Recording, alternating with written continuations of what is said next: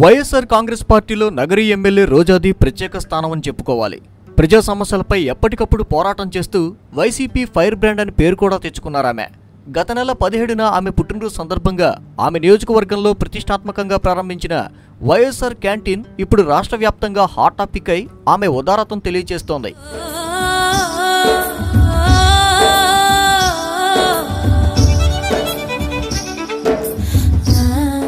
పేదవాళ్ళెవరూ ఆకలితో ఉండకూడదన్న దివంగత నేత వైఎస్ఆర్ గారి ఆశయంలో భాగంగా బాబు అధికారంలో ఉండి ఐదు రూపాయలకు భోజనం అందిస్తున్న వేళ సొంత ట్రస్టుతో నాలుగు రూపాయలకే వైఎస్ఆర్ క్యాంటీన్ ద్వారా పేదల ఆకలిని తీరుస్తున్న ఆమె ఆలోచనను చూసి అందరూ ఇప్పుడు సలాం చేస్తున్నారు.